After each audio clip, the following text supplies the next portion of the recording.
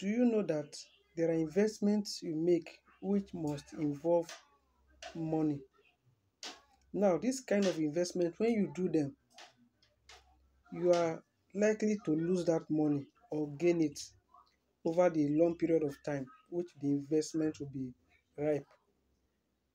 Now, these kinds of investment, it's on a high risk in the sense that your money is involved and you are not just putting petty money in it. You are putting a huge sum of money in order to get good returns. And this kind of investment, you don't know if you will actually get that return back or not. To be a 50-50 something. But I told you about this Facebook or rather social media content creating being an investment. You know that social media content creating is a kind of investment you make that you don't need to put one naira into it?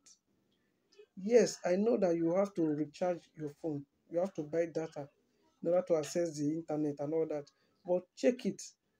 The risks in it, I don't see any risks in it at all compared to when you invest money into something. When you invest in content creation, you are going to eat the fruit of your labor maybe in one, two, three years time depending on how you are consistent in it and how serious you are with it.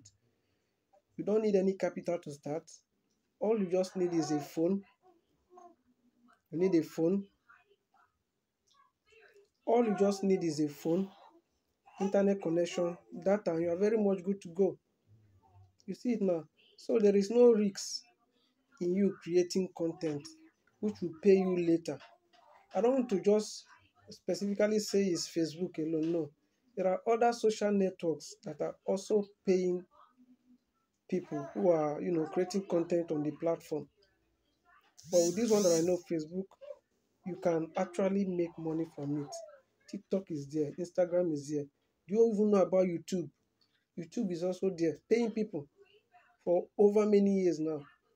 So you see, you can start creating content today, and at the end, you will reap from it later.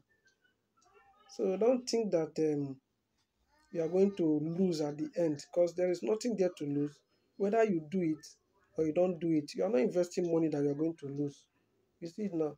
So put on that um, camera today and start making content.